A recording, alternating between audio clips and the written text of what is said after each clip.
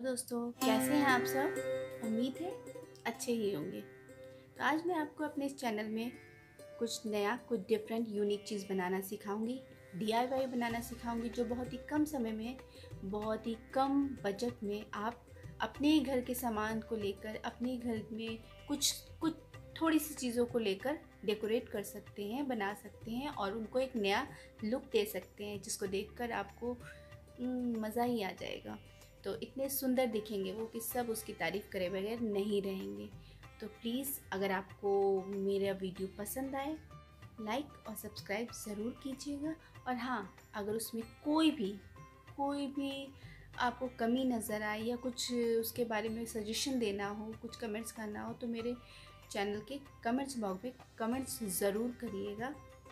So please मुझे आपके comments का इंतज़ार रहेगा।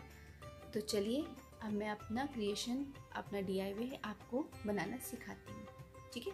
तो लेट्स गो स्टार्ट तो ये मेरे पास एक गिटार है जो कि ख़राब हो चुका है।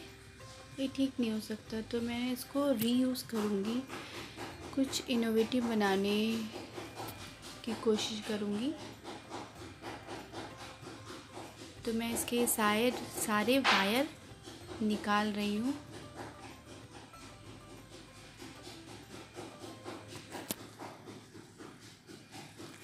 आप अपने घर का कोई भी सामान जो आप यूज़ नहीं करते, टूट गया हो, उसको फेंकना हो, कबाड़ी को देना हो तो आप उसको कुछ इनोवेटिव बना सकते हैं।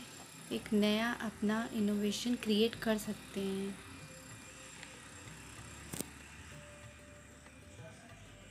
इसको मैं यहाँ से थोड़ा सा रफ़ हो गया है तो मैं रेगमाल से इसको क्लीन करूँगी स्मूथ बनाऊँगी।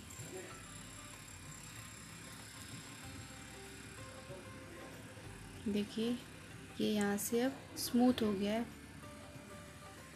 अब सेंटर में मुझे एक होल करना है। तो उसके लिए मैंने पेचकस लिया है स्क्रू ड्राइवर जिससे मैं इसको होल करूँगी। ये आपके एक ब्रश से भी हो जाएगा, क्योंकि इसकी वुड उतनी स्ट्रॉन्ग नहीं होती है। अब मैं एक स्टेंसिल्स यूज़ करूँगी, उसके लिए मैंने फैब्रिक कलर लिए हैं। फैब्रिक में वाइट एंड ब्लू कलर लिया है। आप कोई भी कलर यूज़ कर सकती हैं, बस वाटर कलर नहीं होना चाहिए। ये देखिए। मैं स्टैम्प की हेल्प से स्टेंसिल यूज़ कर रही हूँ। ये ब्रिक का लुक आएगा।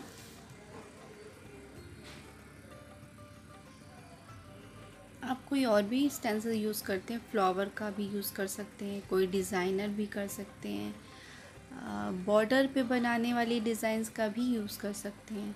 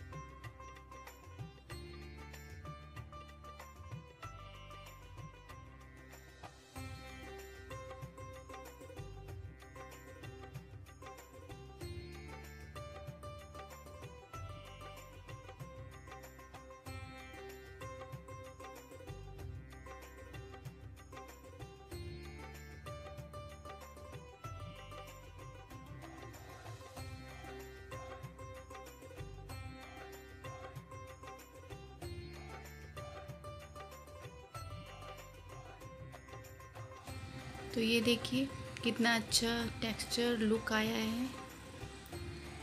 मैंने ब्लू एंड वाइट की शेडिंग दी है।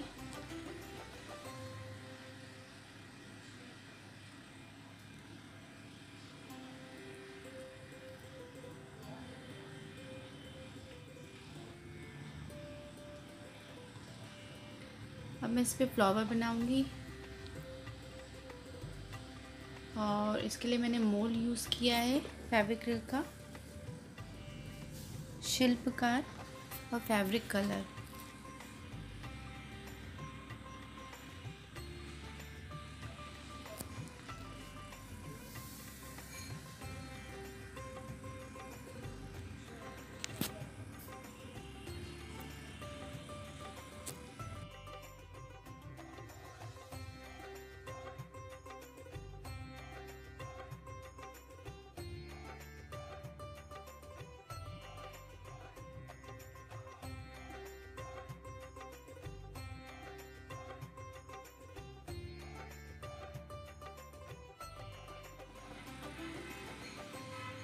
ये अच्छे से मिक्स हो गया है। अब हम इसके फ्लावर बनाएँगे। फ्लावर बनाने के लिए कोई भी टेलकम पाउडर ले लीजिए। उसको स्प्रेड करिए, फैलाइए और जैसे हम लोग रोटियाँ बनाते हैं, उसी तरह से इसे गोल गोल बनाकर उसको बेल लीजिए। पाउडर हम लोग इसलिए डालते हैं ताकि वो चिपके नहीं स्टिक ना करे आपके सरफेस पर। देखिए मैंने ये एक छोटा सा बेला है और अब मैं इसमें ये फ्लावर का मेरे पास मोल्डर है इससे मैं कट करूँगी।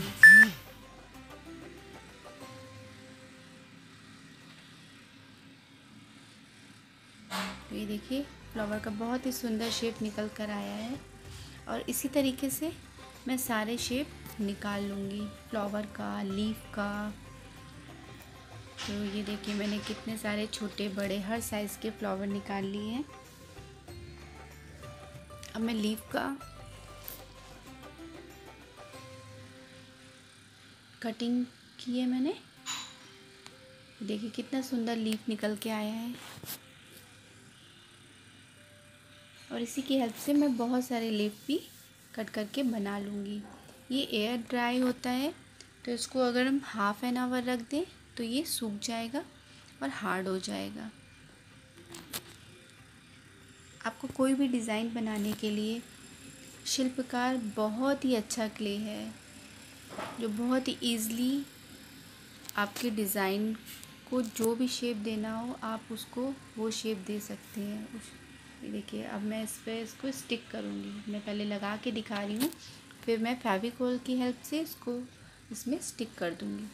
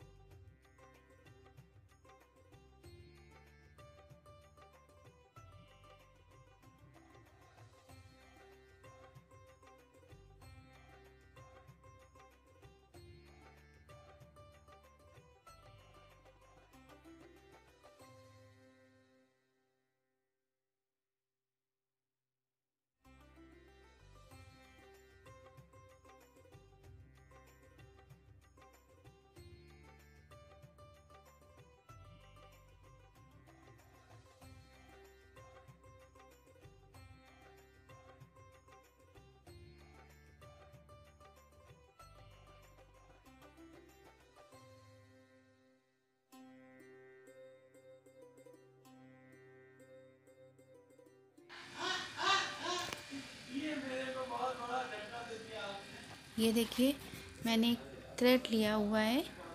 आप सुतली भी ले सकते हो, मोटा थ्रेड भी ले सकते हो। इसको मैं फेविग्लू की हेल्प से स्टेम बनाने के लिए चिपकाऊँगी। आप इसको ऊपर तक स्टिक कर दीजिए।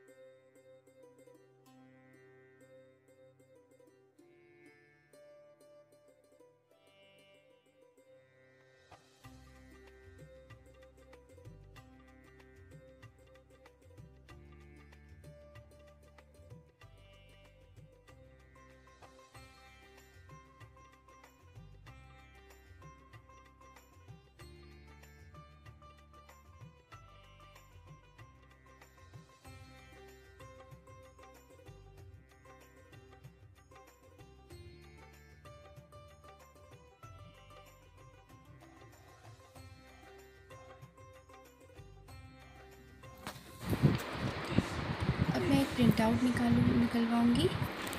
ये देखिए रोमन नंबर के डायल मैंने यूज़ किया है। आप चाहे तो कैसे भी डायल के प्रिंट आउट निकाल सकते हैं।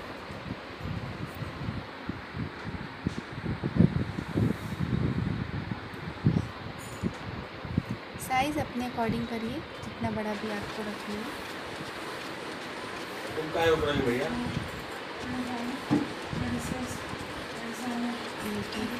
क्लियर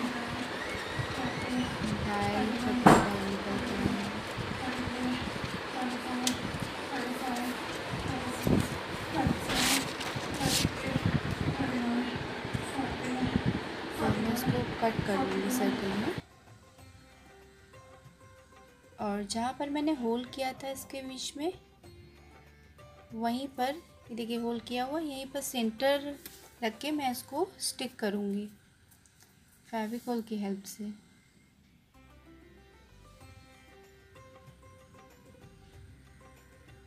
और स्टिक करते समय ये ध्यान रखिएगा कि एकदम फिनिशिंग बहुत अच्छी आनी चाहिए। हाथ से उसको फैला दीजिए कि कहीं भी एयर बबल ना रह जाए।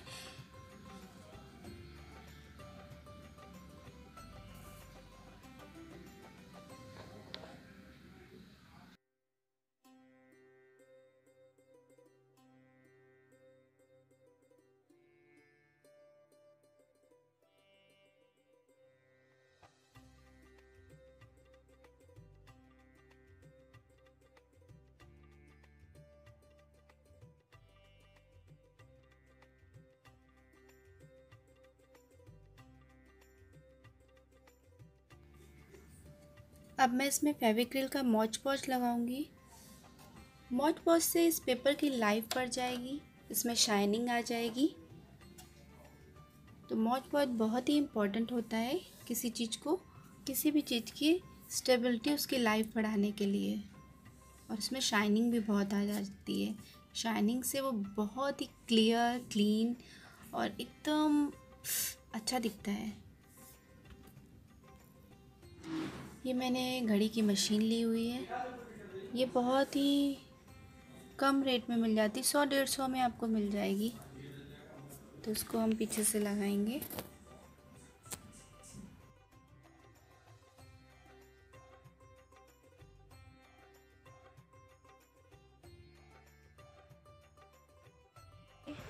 मैं पीछे होल कर रही हूँ, उसको हैंग करने के लिए मैंने पहले नहीं किया, इसलिए मुझे ड्रिल मशीन का यूज़ करना पड़ रहा है, नहीं तो ये आप नॉर्मल पेचकस से भी कर सकते हैं। कितनी सुंदर वॉल क्लॉक बनी है।